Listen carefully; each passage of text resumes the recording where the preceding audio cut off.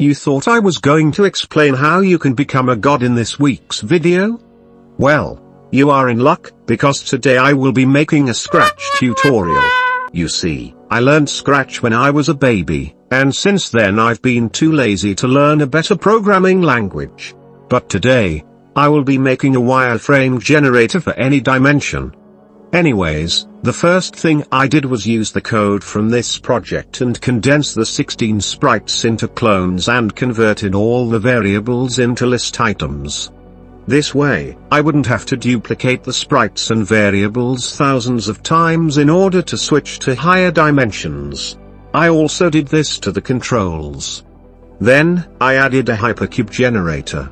I did this by adding alternating coordinates from 1 to minus 1, with x alternating every time, y alternating every 2 times, z alternating every 4 times, and so on.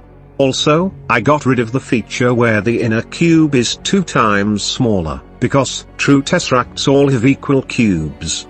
I then made all the clones report their x and y coordinates into another list, where the main sprite would then draw a line in all of the coordinates.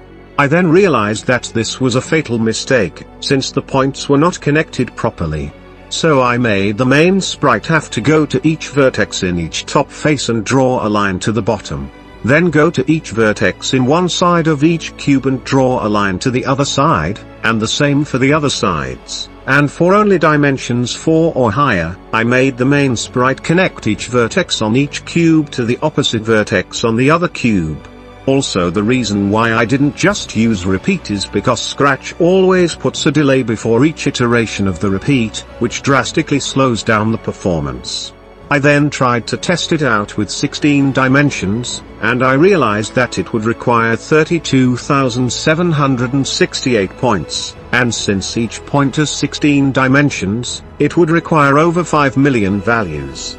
Since Scratch's lists have a limit of 200,000 values, I had to put a limit on the number of dimensions. And also, the code I used stops rendering the hypercube properly after 4 dimensions, and because there are no tutorials on 5-dimensional cubes, I could not get it to work. So I had to make the cubes different sizes again, because it would at least look like all cubes were moving.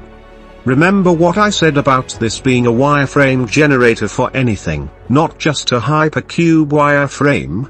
Well, sadly I have run out of time for this video. So I might have to make a part 2.